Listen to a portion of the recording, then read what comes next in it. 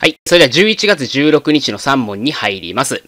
A は B の代理人として B 所有の土地について C と売買契約を締結したが、A は無権代理人であった。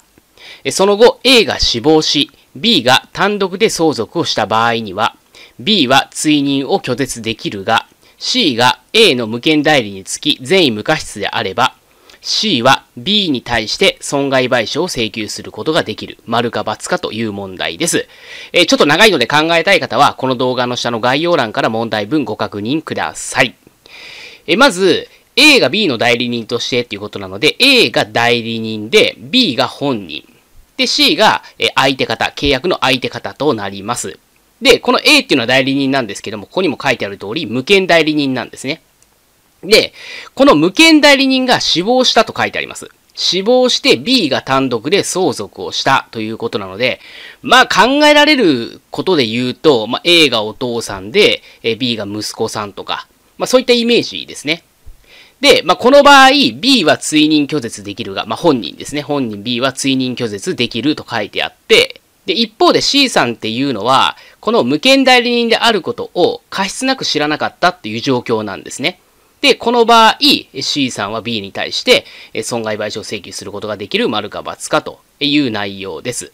まあ、2つ質問されていることがあって、B は追認拒絶できるという内容と、C は損害賠償請求することができるという、まあ、2つが質問されている状況です。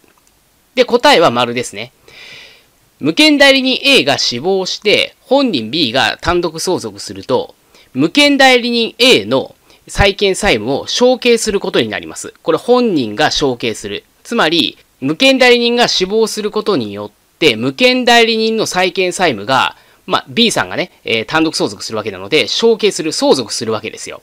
で、今回 C さん善意無過失ということなので、C さんは無権代理人に対して責任追及する権利を持つんですね。具体的には損害賠償請求権を持つんですよ。C は A に対して損害賠償請求できるこの権利を持つと。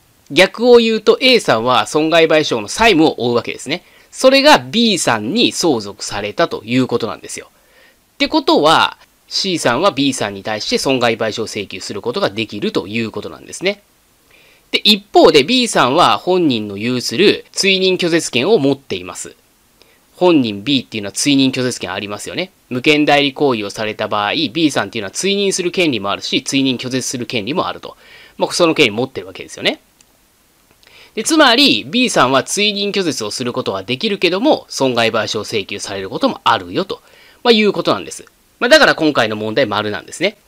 ただ、これだけ覚えても、これ非効率なんですね。つまり、勉強の仕方が悪いと、ま、いうことなんですよ。比較する、理解する。これを実践できれば効率的な学習ができます。で、今回は特に重要な2つを比較して覚えることが重要なんですね。で、個別指導の受講者様は、え合格テキストの P25 ページ、えこちらをご覧ください。で、ここには3つのパターンが記述されています。なんで比較して頭に入れていただければと思います。もう具体例書いてありますので、その具体例を頭に入れましょう。で、その中でも上2つっていうのはすごく重要な、まあ、基本的なものなんですね。なんで上2つは絶対に覚えていただいて、まあ、もう1つの方も、まあ、できれば頭に入れてください。で、受講さんには受講者専用のメルマガで動画で解説しておりますので、そちらご確認いただければと思います。で、2番ですね。え罰則です。宅建業法の罰則です。宅建業者は販売する宅地または建物の広告に著しく事実に相違する表示をした場合、監督処分の対象となるほか、6ヶ月以下の懲役、または100万円以下の罰金に処せられることがある。丸か×かという問題です。で、答えは丸ですね。著しく事実に相違する表示。これは古代広告に当たるんですね。で、古代広告やってしまうと、監督処分の対象となるほか、6ヶ月以下の懲役、もしくは100万円以下の罰金、または陛下。陛下っていうのはこれどっちもってことですね。に処せられることがあります。なので今回の問題は丸になるということです。で、この罰則についてなんですけども、これ覚えるの正直大変なんですよね。で、個別指導では、これについてどのように対応するかもお伝えしております。これも受講者専用のメルマガの方に記載しておきますので、ご確認いただければと思います。で、3番ですね。市街化区域において A が所有する面積3000平米の土地について B が購入した場合 A および B は事後届出を行わなければならない。丸か×かという問題です。市街化区域内において、2000平米以上の売買を行う場合っていうのは、これ事後届け出の対象となりますよね。なんで、今回事後届け出の対象なんですよ。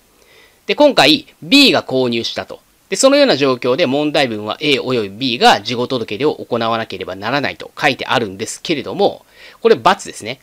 事後届出が必要なのは、買い主だけなんですよ。売り主 A さんは届け出する必要ないんですね。従って誤りだということになります。でちなみに B さん、えー、事後届け出必要なんですけども、いつまでに届け出が必要かというと、契約締結後2週間以内です。契約締結後2週間以内に、まあ、知事に届け出をしてくださいよということですね。でちなみに関連知識として、この2週間以内にこれ届け出しなかった場合どうなるかっていうと、6ヶ月以下の懲役または100万円以下の罰金に処せられます。で、この場合も罰則、これ受けるのは飼い主だけですね。で、なぜかっていうと、売り主 A さんはそもそも届け出義務ありませんので、別に届け出をしなくても罰則は受けません。まあ、上記のように関連知識というものを一つのストーリーとして頭に入れていく。これ非常に効率的に頭に入れることができるんですね。単に問題が解けるかどうかの勉強だけじゃなくて、一つの問題から関連ポイントに広げた学習をしていくと。これが宅建合格の秘訣の一つなんで、ぜひですね、実践していただければと思います。で、個別指導については、この動画の下の概要欄の方に URL 貼っておきますので、えご確認いただければと思います。今日も最後まで動画ご覧いただきましてありがとうございました。レトスの小野でした。